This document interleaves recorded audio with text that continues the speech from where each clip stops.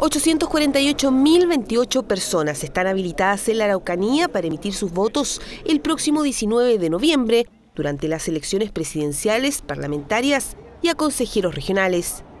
El padrón fue definido tras una auditoría que cruzó distintos datos a fin de establecer la lista final y también la nómina de personas inhabilitadas para sufragar.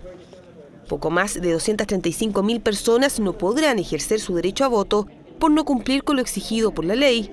Sin embargo, tienen hasta el próximo 31 de agosto para apelar. Hay un plazo de 10 días desde la publicación, es decir, desde el día 22 al día 31 de agosto, para que las personas puedan reclamar ante el Tribunal Electoral de aquellas personas, ya sea por omisión de su inscripción, también porque los datos están erróneos y también por exclusión de algún ciudadano que esté incorporado no correspondiéndole, eh, contraviniendo la norma legal.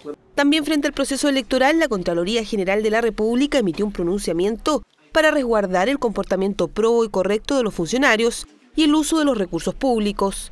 Y es que ya hay denuncias por hechos de intervencionismo político.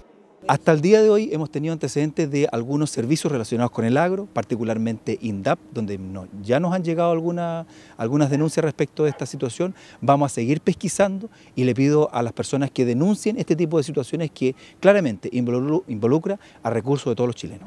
El parlamentario manifestó además que es necesario regular la actuación de funcionarios públicos mucho antes de la época de campaña, pues en los últimos meses se habrían realizado actividades programadas desde los servicios pensadas en beneficiar a algunos candidatos.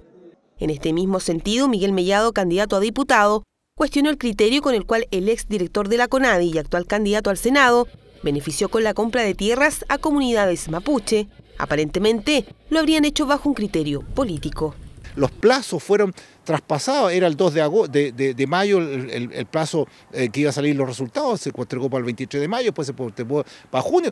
Entonces aquí hay un tema de un manejo raro que me parece extraño, me parece irrisorio que se haga este manejo con eh, aquellas personas de origen mapuche que quieren tener acceso a la tierra.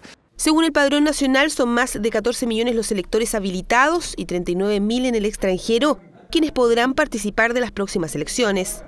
En cuanto a la propaganda electoral, esta aparecerá en espacios públicos del país desde el próximo 20 de octubre. En cuanto a la nómina definitiva de candidatos, esta será publicada el 2 de septiembre en diarios de circulación nacional y regional.